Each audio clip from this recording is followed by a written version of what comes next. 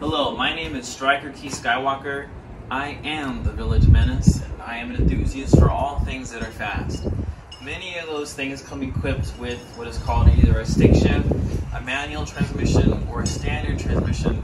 Those are all the same thing. And a passion of mine for the last 15 years has been to teach others how to pilot machines that are equipped with those in those 15 years, I have not had someone not be able to learn how to do it. And my lesson is an hour and a half to two hours long. And so far, I haven't had someone need longer than that. But if you need longer than that, I would gladly take that time to teach you how to do it.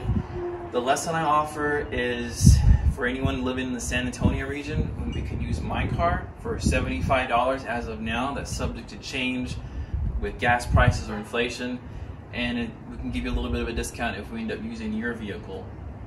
I can also transport manual transmission vehicles for you. Say you buy one but you can't drive it yet, I can do that for you for a fee.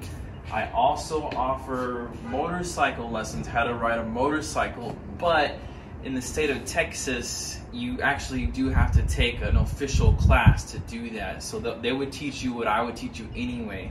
This would be more so if you wanted to like learn on your bike low key without getting your license or something, or go into that class more prepared because in that class, if you drop your motorcycle or their motorcycle, that that could that could disqualify you from the class and they keep the money. So, but we can't use my bikes for that. We need to use your bikes, your gear, your helmet, all that kind of stuff. You can contact me in the comments below, or you can contact me or follow me at, on Instagram at Master Key Magic.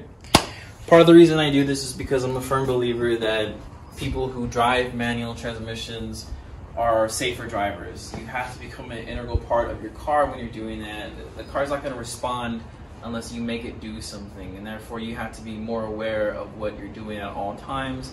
It makes it much more difficult to say text and drive and be distracted, and therefore you are a, you are a safer driver. The more of us that drive these, the safer the roads are. And that's one of the reasons why I teach this and offer this lesson to y'all.